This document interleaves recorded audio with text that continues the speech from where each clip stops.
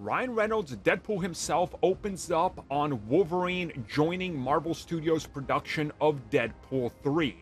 And he talks about how getting Deadpool and Wolverine in a film was a miracle and something that truly excited everybody when it was 100% confirmed, because of all the logistics that almost made it impossible. So, for those that aren't aware, making something like Deadpool 3, which is picking up the story from Deadpool 1 and 2, which was done by Fox and completely different creative teams, directors, producers, and everything, and bringing the third one into the MCU is one of these types of moves that's almost impossible to imagine.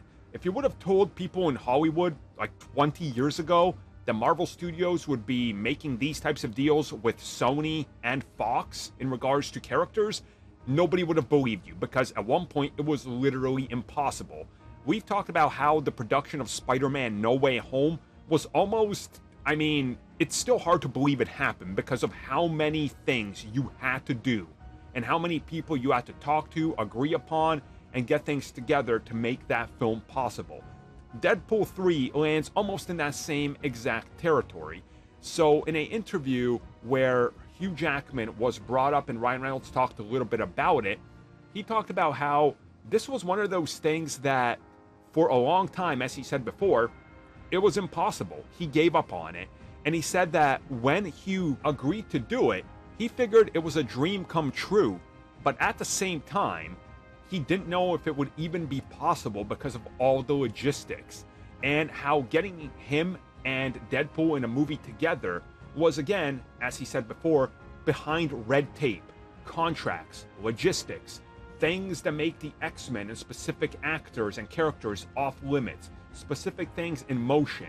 He had no idea whether it was even possible, and ultimately trying to get things done was something that was beyond him in terms of this, so it was all left over to Marvel Studios to try to make it a reality, which they obviously did.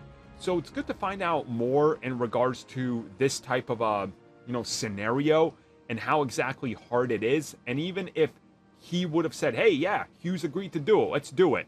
It's still not a, "Well, we can do this." Because there's so many other things in play that you logistically have to refer to complex contracts, things signed sometimes decades ago at this point, and look at the logistics of everybody involved, knowing that if you go ahead with this and something happens and you didn't check everything, you could be ready to put the film out and suddenly there's a lawsuit on your hands. And again, it's happened with Disney multiple times recently because of the Fox acquisition. Look at the film Prey the Predator film Prey. They announced that they started production on it and then hit with multiple lawsuits.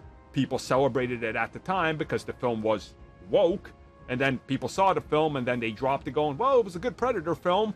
I guess they worked everything out. They still couldn't call it Predator because of logistics, but ultimately, in the end, the contracts were figured out.